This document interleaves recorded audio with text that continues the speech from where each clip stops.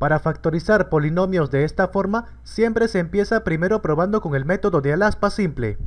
Aplicando el método primero, verificamos que al comienzo esté el x con el exponente y al final el que no tenga x. A los dos se descompone. x cuadrado siempre como la multiplicación de x por x. Ahora por acá, a ver, dos números que multiplicados te dé 27, 27 por 1 o también 9 por 3, ¿verdad?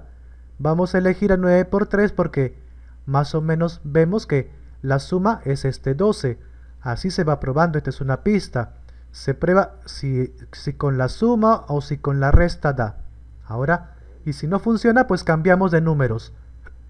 Ahora acá, dos números que multiplicados y te dé más, podría ser menos por menos o más por más. ¿Con cuál pruebo? Como al medio está con menos, me dice prueba con menos.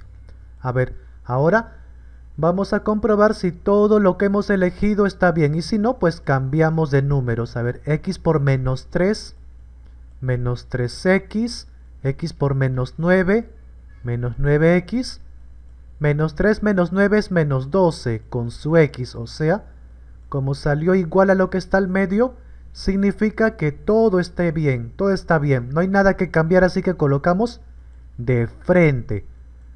Primero x menos 9 y al costado la segunda fila. Y listo, esto sería entonces la factorización. Y si te preguntan cuáles son los factores primos, pues son los que están dentro de los paréntesis, o sea que hay dos factores primos.